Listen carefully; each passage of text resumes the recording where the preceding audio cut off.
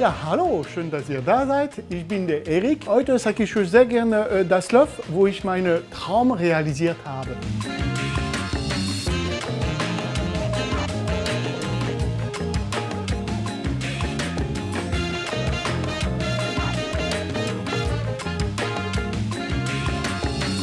Und hier wohne ich in dieser großen Halle gewesen mit über 240 Quadratmeter.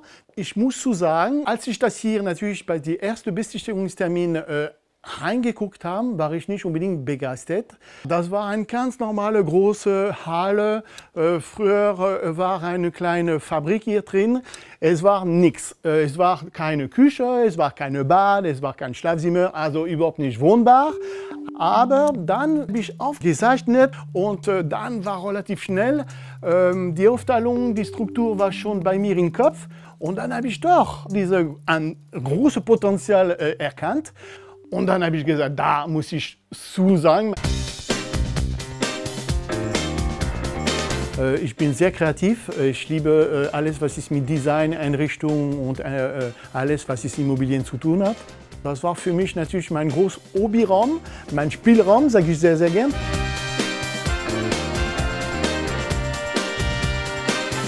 Ja, hier ist mein Wohnzimmer.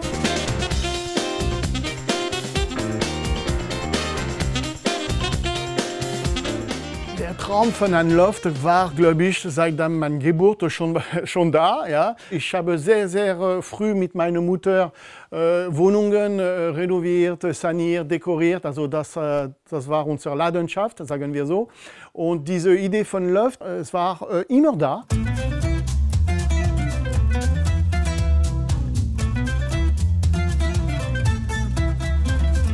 Für mich war auf jeden Fall sehr, sehr wichtig, als ich das hier aufgeteilt habe, also diese Struktur gebracht habe, das war Material.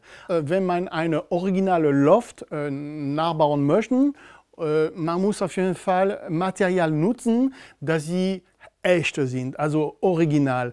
Diese äh, Fenster oder diese Tür und alles, was ich hier reingebracht habe, sind original. Man sieht das hier natürlich, diese Authentizität. Und dann man hat hier das Gefühl, dass diese Fenster zum Beispiel oder diese Türe äh, waren schon immer da drin. Ja? Und das ist jetzt natürlich das Schönste, was passieren kann. Man sieht zum Beispiel, das ist ganz normal, äh, hübsche 70er äh, große äh, Fenster, aber relativ einfach. Langweilig wollte ich das nicht sagen, aber das ist jetzt natürlich auch kein unbedingt dieser Loft-Look. Ich habe einfach das hier mit so kleinen Latten, diese Sachen hier geklebt und das macht jetzt natürlich eine Aufteilung und dieser Look ist da. Und man denkt, äh, das ist jetzt hier immer so gewesen.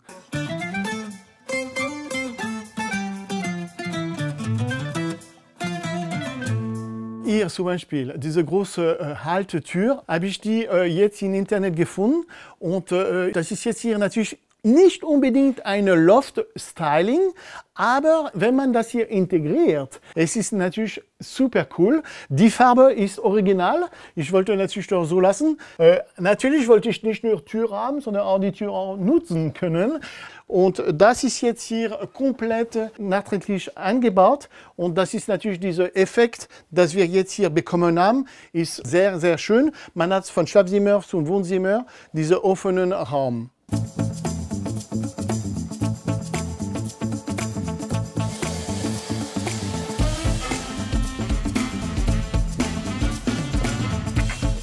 Nach ein paar Monaten, wo das war, äh, dort ein bisschen eingerichtet war, äh, kommt ein guter Freund von mir, Fotograf, und er hat mich einfach nur gefragt, äh, ich möchte gern mit einem Modell äh, shooten.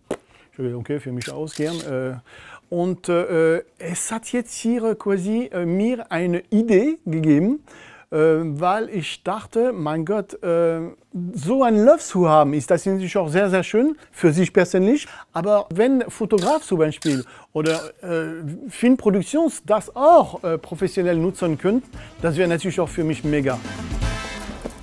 Ein Fotograf äh, braucht viel verschiedene Sets, also industriell oder Asia-Styling oder 70er Original-Teil. Und das ist jetzt hier natürlich sehr, sehr interessant. Es hat mir auch sehr, sehr viel Spaß gemacht. Wie eine kleine Puzzle, verschiedene Teile, dass sie äh, zusammenkommen. Und zum Schluss, man hat doch dieses äh, harmonisches Bild.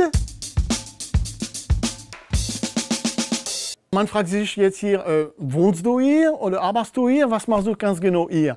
Und äh, die Kunden äh, kommen einfach bei dir rein, quasi zu Hause, und sie nutzen alles, was hier drin ist. Und da stört mich jetzt weniger. Und ich freue mich auch. Ich meine, ein Couch oder ein schönes Sessel äh, muss benutzt werden. Wenn ich jetzt hier gerade drei oder vier Tage Dreharbeit habe mit einer großen Filmproduktion, äh, es ist schwer zwischendurch mit äh, Freunden äh, oder mit meinen Töchtern etwas zu organisieren. Man muss das einfach planen. Das ist ein anderes Leben. Äh, man muss damit äh, zurechtkommen. Mache ich das gerne. Ja, ich schlage vor, jetzt es geht weiter. Jetzt gehen wir zum Mannschaftszimmer.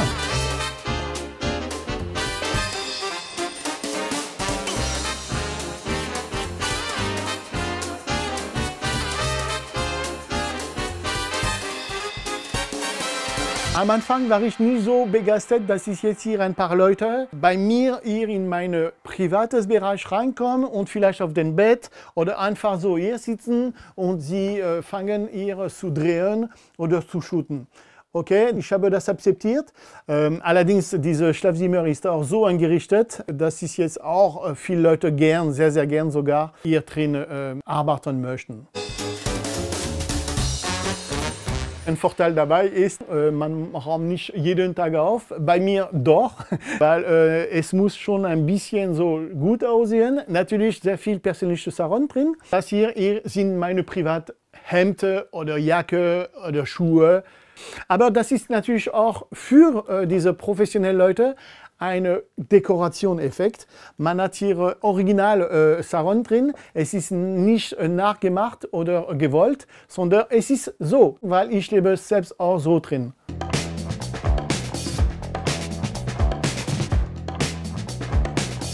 Also hier zum Beispiel Eingangsbereich.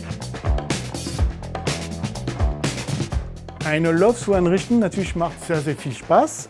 Was es mir persönlich noch mehr Spaß macht, ist die komplette kleine Objekt, Deko, die komplette Einrichtung zu finden, zu suchen. Ich äh, gehe natürlich sehr gerne in Internet, oft einmal zum Flohmarkt. Sperrmüll, ein sehr interessanter Sachen. Was ist für mich auf jeden Fall sehr, sehr wichtig ist, die Teile müssen so gut wie möglich original sein. Ja? Also ich habe meine kleine Garderobe oder hier nochmal unsere Tankstelle-Ecke. Hier habe ich zum Beispiel meine kleine äh, ja, äh, Sportraum. Ich mache keinen Sport, aber das sieht gut aus und äh, ja, man kommt hier rein und man fühlt sich direkt wie eine alte Werkstatt, schön äh, oder Fabrik.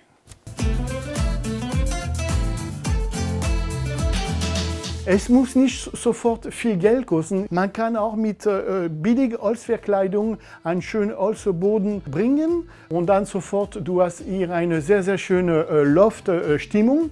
Weil wenn man das, diese Material, dieses altes Material wieder nutzen, man erkennt das sofort, äh, das ist jetzt hier nicht nachträglich, sondern man denkt, oh, das war immer so gewesen. Ich sage euch zum Beispiel, was ich jetzt hier, hier gemacht habe. Für 0,0 Cent, äh, äh, zumindest habe ich die selbst abgeholt.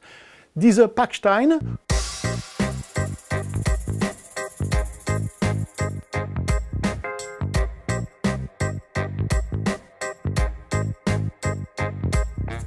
Ich wollte unbedingt sowieso eine Wandpackstein. Äh, Natürlich kann man das auch kaufen und machen lassen. Ich finde das so toll, wenn man das auch selbst finden. Man muss natürlich ein bisschen schwitzen, man muss ein bisschen dafür Zeit nehmen. Und das macht natürlich auch diesen Spaß dabei. Und man kann natürlich auch immer noch erzählen, guck mal diese Wand, ja toll, sieht gut aus. Ja, das habe ich gemacht. Cool.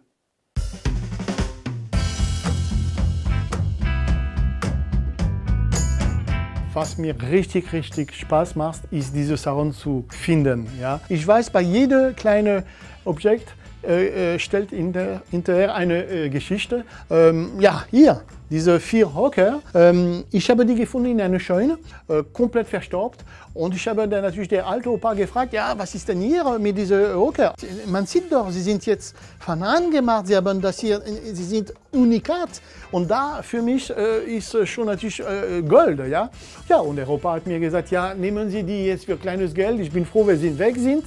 Und äh, so passiert auch äh, oft mal äh, im Leben äh, ein bisschen Glück. Ja? Und äh, dann, äh, ich bin mega happy.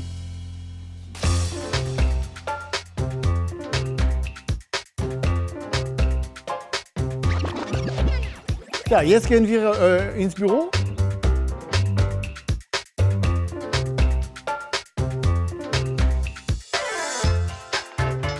Hier habe ich die ersten Tage mein Büro eingerichtet. Komplett leer drum und rum. Hier war mein Computer, zwei Stühle und das war's. Äh, jetzt ist natürlich auch komplett privat eingerichtet, also mit Büchern, äh, Fotos, mein Computer stellt da.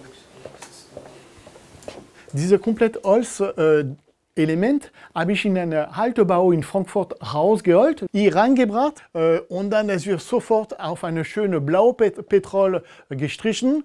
Übrigens komplett original äh, Material, Baujahr 20er, siehst du? Wir haben jetzt hier äh, quasi wie ein bisschen im Theater diese komplette Ecke zugemacht mit einer Bibliothek, mit äh, Panelen, und das Resultat gefällt mir sehr gut, gerade wenn man das äh, verbindet, kombiniert mit äh, schön original äh, Industrietür, dass sie aus Paris kommt. Meine Mutter ruft mich an, sagt ja, gegenüber äh, wird jetzt hier diese komplette alte Werkstatt äh, platt gemacht. Äh, soll ich das für dich reservieren? Ich habe gesagt, Mama, unbedingt, ja. Und äh, die finde ich mega, mega cool.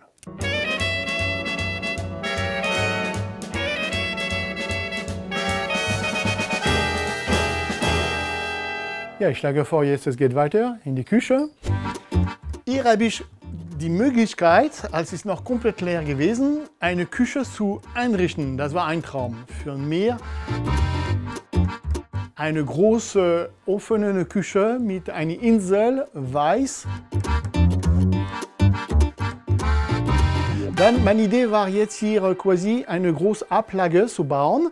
Und man sieht schon die komplette Kontraste zwischen die gegenüber äh, Industrie-Styling mit diesem Backstein und Holz. Und äh, direkt sind wir in einer ganz anderen Welt, komplett weiß, mit diesen großen äh, äh Fenster und äh, Tür. Nicht nur, dass es auch schön ist, das muss eventuell auch praktisch sein. Wir haben die Möglichkeit, hier mit vielen Freunden zusammen und der Familie äh, eine schöne Buffet zu einrichten. Es ist Platz für alle, kann man sich richtig schön bewegen. Es ist jetzt hier direkt äh, quasi verbunden mit einer Küche.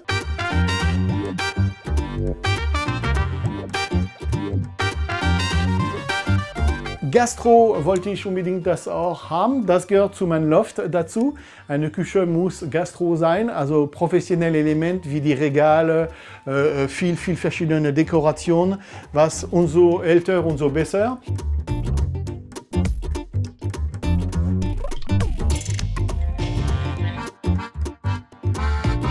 So, es ist eine Küche. Natürlich die Kunden, die Freunde, ich persönlich nutzen diese Küche. Das ist dafür auch da. Ähm, aber da äh, bin ich ein bisschen ähm, vorsichtig. Äh, ich will natürlich ein bisschen private Sphäre in diese Richtung haben. Das heißt, alles, was ist mit Gläser, Geschirr, Teller Co., habe ich das doppelt. Das heißt, drüben habe ich jetzt alles hier noch für andere Leute. Kleinigkeit über diese äh, schöne Tür. Ähm, ich war einfach vorbei und auf der Straße liegt diese schön originale äh, äh und alte Tür äh, von einem Restaurant. Für mich persönlich, äh, ich sage immer wieder, ich brauche nicht so viel. Wenn ich zum Beispiel so eine Tür finde, das ist für mich quasi Weihnachts, Silvester und Neugeburt zusammen. Ich finde das mega.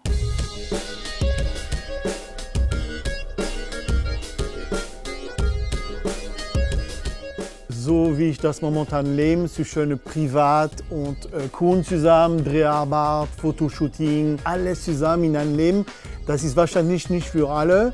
Für mich ist jetzt hier mein Leben geworden. Ich finde das ganz toll. Es passt ganz genug zu mir. Ich bin ein sehr kreativer Mensch. Ähm, was ich jetzt hier momentan beruflich mache, ist äh, fast ein Traum. Ich fühle mich ein bisschen privilegiert, weil äh, was ist ganz genau mein Job? Ich einrichte mein Loft für mich privat. Ich gebe das weiter äh, für äh, Freunde oder für Kunden und diese Kreise schließen sich sehr gut zusammen. Mega!